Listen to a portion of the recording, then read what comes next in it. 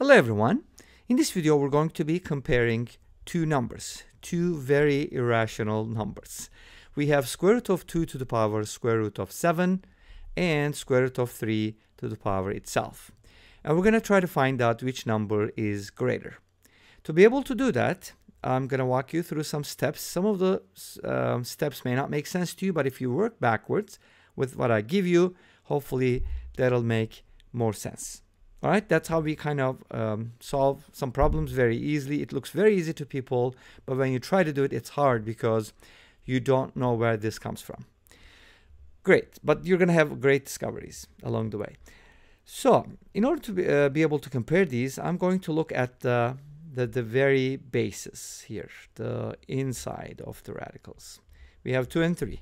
So let's go ahead and take a look at powers of 2 and powers of 3. Let's list them. 2, 4, 8. I know this is fairly easy, but I think making a list of powers of 2 and 3 together will be very helpful uh, because you're going to see where they get closer.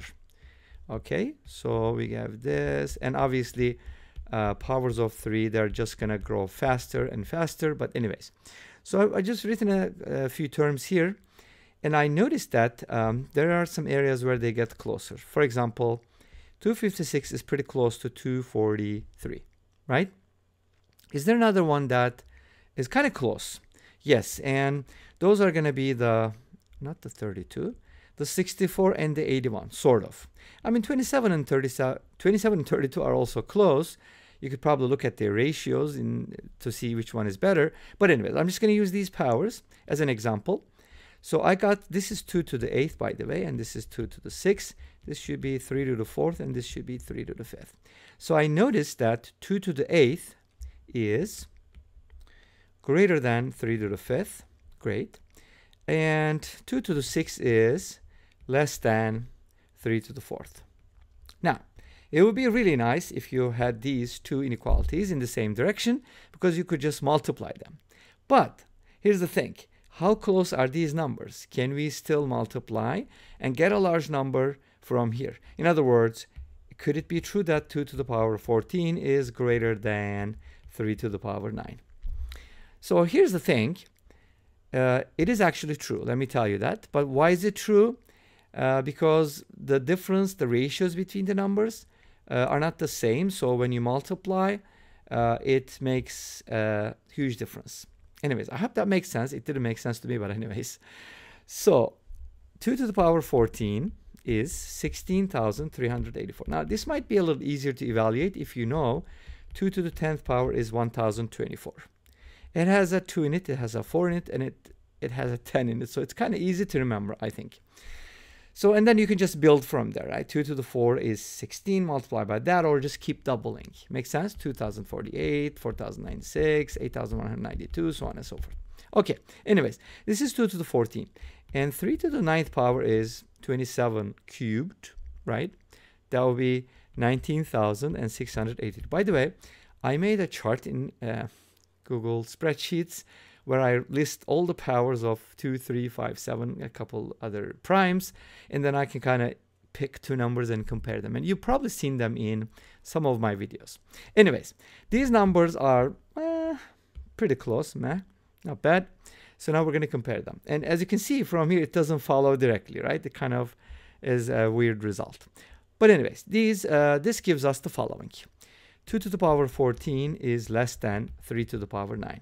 So here you notice that uh, the smaller exponent gives us a bigger result because the base is more powerful. okay, anyways, so here's what we're going to do with this. Since uh, 2 to the 14 is less than 3 to the 9th, I'm going to go ahead and compare 9 to, uh, what is 9? Square root of 81. And that is less than square root of 84. Why 84? You're going to see in a little bit. 7 is going to come up from here. And in our, in our original expression, we have a square root of 7. And this contains square root of 7. Makes sense? So um, 3 to the 9th is less than 3 to the power 84 because 9 is less than 84. Square root of 84, I mean. And uh, square root of 84 is basically 2 root 21. And 21, square root of 21 contains square root of 7, which we're going to take care of later. And also 14 contains a 7, which is also nice. You know what I'm saying? Hopefully this will make sense. Okay, let's work it out a little bit more. So now we got the following. 3, 2 to the power 14 is less than 3 to the power 2 times square root of 21. Let's go ahead and get rid of the 2 in the exponent. Erase both sides to the power 1 half. That's good because um, we'll get rid of the 2 and also bring a 7 here instead of the 14. 2 to the 7 must be less than 3 to the power square root of 21. You see what we're getting at? Now we're going to do the following. We're going to write this as 2 to the power square root of 7 times square root of 7 and this as square root of 3 times square root of 7. And guess what? We can go ahead and write it as 2 to the square root of 7 to the power square root of 7 is less than 3 to the power square root of 3 to the power square root of 7. And then we can go ahead and cancel out the square root of 7 on the outside, right? Which means raising both sides to the power 1 over square root of 7. And you can do it. It's positive, it's good. These are going to cancel out. These are going to cancel out. You end up with 2 to the power square root of 7 is less than 3 to the power square root of 3. But the original problem wasn't asking for that. The bases are radicals, so we still have to take care of that. But that can be easily done. How? We can raise both sides to the power 1 half and the using of uh, using a property of powers of powers or superpowers, we can do the following. We can switch these to exponents. Because if you have a to the power mn, it's the, can be written in two different ways. So they are equal to the same thing. Make sense? So now we can write this as 2 to the power 1 half to the power square root of 7. That is less than 3 to the power 1 half to the power square root of 3. And that implies square root of 2 to the power square root of 7. Square root of 2 to the power square root of 7 is less than square root of 3 to the power square root of 3. Now you might be wondering what are the numerical values for these numbers, right? So let's go ahead and take a look at the numerical values. Let's see how close they are.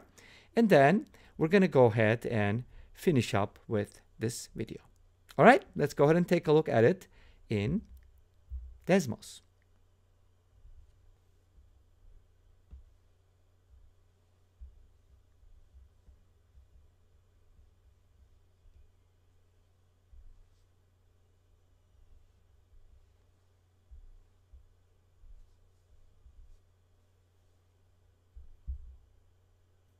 And as you can see here, square root of 2 to the power square root of 7 is 2.50164 blah blah blah.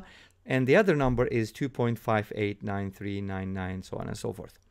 So as you can see here, the square root of 2 to the power square root of 7 is less than square root of 3 to the power square root of 3, which means our second number is going to be greater. But they are pretty close, right? Okay, let's go back to the original screen and finish up with this video. So as you saw with Desmos, this number is less than square root of 3 to the power square root of 3. So the winner is square root of 3 to the power square root of 3. That is the greater number. And this brings us to the end of this video. Thank you for watching. I hope you enjoyed it. Please let me know. Don't forget to comment, like, and subscribe. I'll see you next time with another video. Until then, be safe, take care, and bye-bye.